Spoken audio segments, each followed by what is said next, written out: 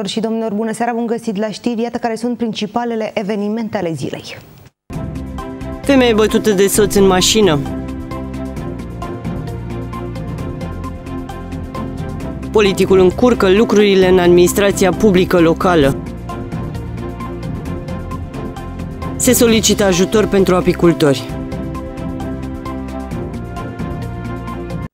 Femeie de 51 de ani din orașul Țicleni a trecut prin momente de groază. Soțul ei a bătut-o cu cruzime chiar în mașina personală. Agresorul, un bărbat de 59 de ani din aceeași localitate, s-a ales cu dosar penal pentru violență în familie. Polițiștii din Țiclene au emis un ordin provizoriu de protecție în cazul unui bărbat de 59 de ani din localitate care ar fi exercitat acte de violență asupra soției sale în vârstă de 51 de ani, de natură ai provoca leziuni care necesită pentru vindecare 5-6 zile de îngrijiri medicale.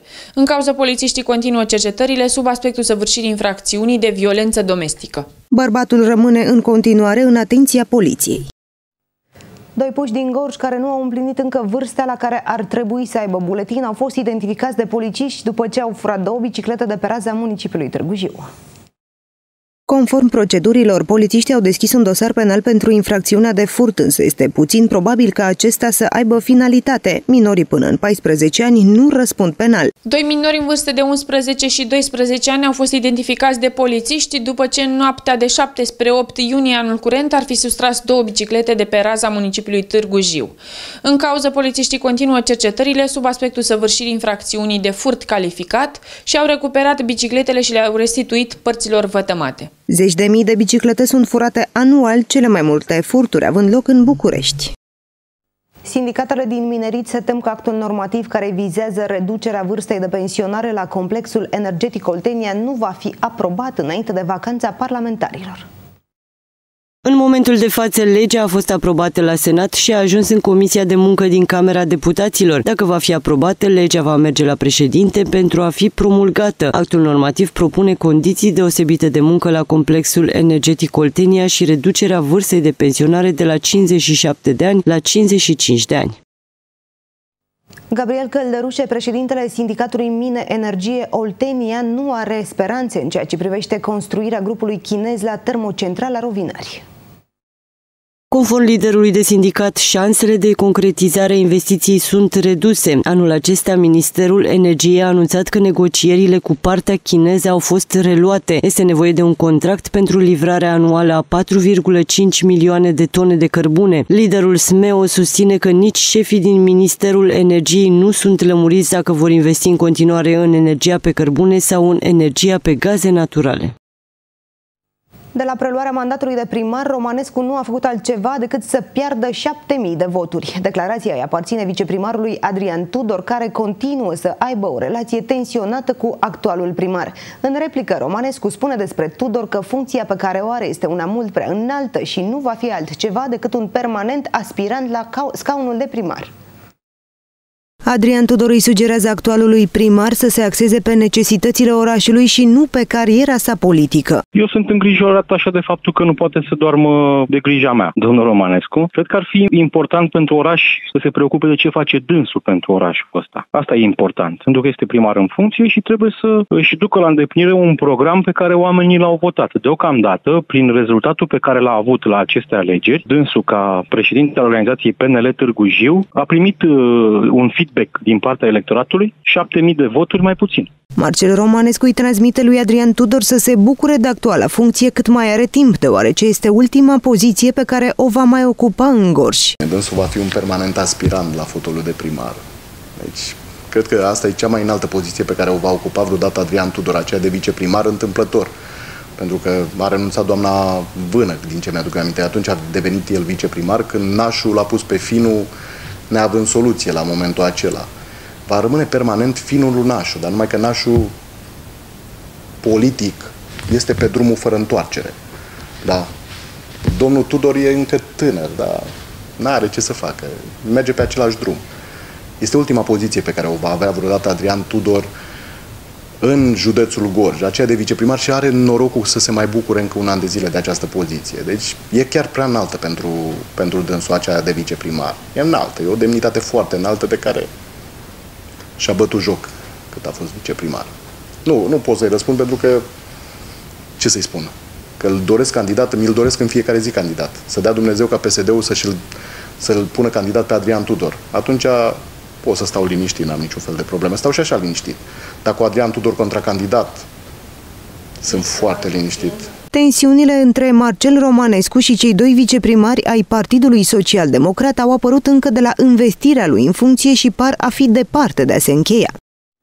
Viceprimarul municipiului Târgu Jiu, Adrian Tudor, a declarat că și în acest an vor fi organizate în municipiul nostru atelierele Brâncuș, chiar dacă banii alocați din bugetul local vor fi mai puțini.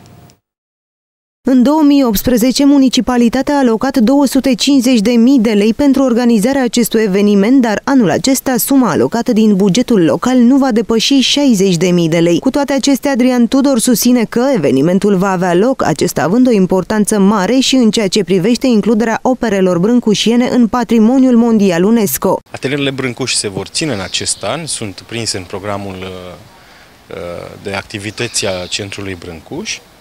Atelierele Brâncuș nu înseamnă doar tabăra de uh, sculptură, înseamnă și ateliere, uh, tabără de creație, pictură, poate fi ceramică, poate fi uh, sculptură mică, dar uh, în acest uh, moment uh, nu am renunțat nici la ideea de a avea și sculptură monumentală. Fondurile necesare vor fi de la bugetul local și Eh, bineînțeles, sponsorii pe care îi avem la nivel eh, național și probabil vor fi și alte fonduri accesate eh, din alte părți. Pe de altă parte, primarul Marcel Romanescu a declarat că evenimentul nu ar ajuta dosarul pentru UNESCO. Anul acesta, Centrul Brâncuș a venit cu o propunere. Până la urmă, în bugetul local se regăsește doar suma de 60.000 de lei, adică 600 de milioane lei vechi. Dacă vor găsi finanțare de la Ministerul Culturii, așa cum am înțeles că încearcă să obțină, pot organiza aceste evenimente. Dar din bugetul local în acest an, pentru toate evenimentele care se organizau anterior, nu sunt prevăzute decât 60.000 de lei. Așa avem în acest moment prevederea bugetară, raportată la ceea ce s-a întâmplat anul trecut, când au fost uh, cheltuiți aproape 250.000 de lei, bani vechi, 2 miliarde și jumătate finanțarea pe care ar putea să o mai primească de la Ministerul Culturii suplimentar. Nu știu cum s-ar putea descurca doar cu suma de la bugetul local, dar eu le doresc o la treabă în tot ceea ce și-au propus. Viceprimarul Tudor declara că aceste ateliere brâncuși sunt importante, inclusiv în uh, dosarul uh, intrării operelor brâncușiene în UNESCO. Considerați același lucru sau considerați că nu atârnă atât de greu aceste ateliere? Nu pot să consider că este elementul definitoriu pentru depunerea acelui dosar. În replica, Adrian Tudor a declarat că primarul Romanescu face declarații doar pentru aplaudacii pe care îi are în jur. Domnul primar face declarații ca să-și bucure aplaudacii, nu în rest când spune astfel de lucruri. Dacă ar fi respectat programul de anul trecut, atelierele Brâncuș ar trebui să se desfășoare în perioada 1 august-3 septembrie 2019. PSD Gorj are probleme după votul de la alegerile europarlamentare, este opinia fostului senator Ion Rușeț.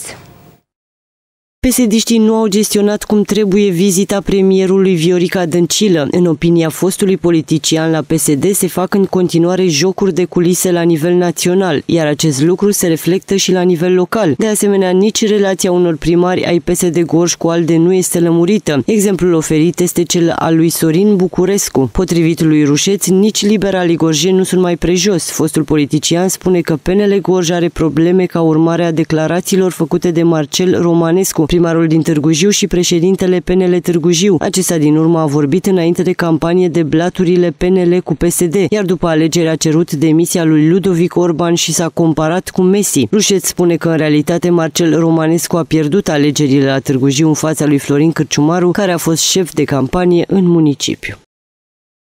Unul dintre foștii lideri politici din Gorj este de părere că mai există o cale de împăcare între Marcel Romanescu și Dan Vâlceanu. Este opinia fostului președinte al PDL Gorj, Ion Rușeț. Între cei doi există un conflict mai vechi pe tema și fie organizații județene. Potrivit lui Ion Rușeț, între Dan Vâlceanu și Marcel Romanescu ar putea exista o cale de împăcare. Condiția ar fi ca organizația locală a PNL Târgu Jiu, condusă de Marcel Romanescu, să fie reunită cu organizația județeană a PNL Gorj. Viceprimarul municipiului Târgu Jiu, Adrian Tudor, a declarat că este impresionat de numărul mare de persoane care au venit din toată țara pentru castingul referitor la filmul Eroii de la Jiu. Selecția actorilor pentru filmul Eroii de la podul Jiului continuă miercuri și joi la București, iar numărul de persoane așteptate la casting este foarte mare. Etapa de la Târgu Jiu, într-adevăr, a fost un succes. Uh, impresionant numărul celor care au venit uh, la acest casting și impresionant numărul uh, mare al celor care au venit din țară pentru a participa la acest casting. Au fost peste 300 de persoane, tineri în mod special, tineri talentați și uh, și-au atins scopul. Câteva roluri, roluri au fost deja asigurate în urma castingului de la Târgu Jiu. Care este următoarea etapă? Mai urmează astăzi și mâine la București o etapă de casting și apoi uh, uh, din luna iulie echipa tehnică va fi prezentă la Târgu Jiu uh, și artiștii vor fi chemați pe, pe etape, din ce am înțeles, pentru a juca scenele pe care le au. Regizorul are ultimul cuvânt în ceea ce privește castingul, el va urmări toate uh, interviurile, probele care s-au dat și va decide împreună cu scenaristul pe cine să uh, îl uh, distribuie în acest film. Eroii de la podul Jiului va fi filmul care va spune povestea eroului Ioan Popilian și a tinerilor curajoși care l-au ajutat să apere municipiul Târgu Jiu de armata bavareză în anul 1916. La Târgu Jiu filmările vor avea loc în luna august în regia lui Sergiu Prodan. Vremea capricioasă le-a dat mari bătăi de cap apicultorilor. Producția de miere a fost afectată, dat fiind faptul că albinele nu au mai putut ieși din stupi. Pentru aceștia a fost solicitat un sprijin de la guvern. Vestea bună a fost dată de directorul Direcției pentru Agricultură Gorj Petra Ochișor, care a declarat că a transmis deja către Ministerul Agriculturii această solicitare. S-a identificat riscul pentru crescătorii de albine că nu își pot asigura pentru albine sursa de hrană și ca atare, datorită condițiilor meteo nefavorabile, există riscul să nu aibă eficiență această activitate. Identificând riscul pe care l-am precizat, este necesar să găsim și o măsură de eliminare a acestui risc. S-a constatat și s-a transmis către Ministerul Agriculturii un memoriu în care se solicită o derogare pentru a se putea acorda și a acestor crescători de albine un uh, ajutor, un, uh, o formă de sprijin care să le permită să-și desfășoare activitatea în bune condiții. Toți apicultorii care vor depune cereri vor beneficia de acest ajutor. Mai multe culturi agricole din județul Gorj au fost afectate de căderile de grindină. Gheața a distrus culturi de căpșuni, vie, cartofi, dar și de ceapă și fasole. La Direcția Agricolă au fost înregistrate mai multe solicitări de la Bumbejiu, Mușetești și Tizmana pentru evaluarea pagubelor produse. Transmis până acum avem de la Primăria Bumbejiu pentru două PFA-uri, Mănescu Lucian și Uh, Mănescu Raluca Iuliana, o suprafață la Mănescu Raluca Iuliana de 0,30 de hectare Căpșun și la PFA Mănescu Lucian 0,60 uh, hectare Căpșun cu o grad de dăunare de 50-60%. Mai avem de la primăria Mușetești. Ne-au transmis aici mai mult o suprafață de vie de 0,20 hectare și câteva suprafețe de roșii și ardei, deci grădinile familiare, cred că de 0,04 hectare, 0,12 hectare, 0,02 hectare și 0,08 hectare. Mai avem de la primăria Tizmana, uh, cartofi 0,03 hectare, ceapă 0,01 hectare și fasole 0,01 hectare. Solicitările urmează să fie transmise către Ministerul Agriculturii, iar fermierii vor putea fi despăgubiți. Doamnelor și domnilor, știrile Accent TV au ajuns la final. Eu sunt Ana Maria Iang, vă mulțumesc pentru atenție. Să aveți seară frumoasă!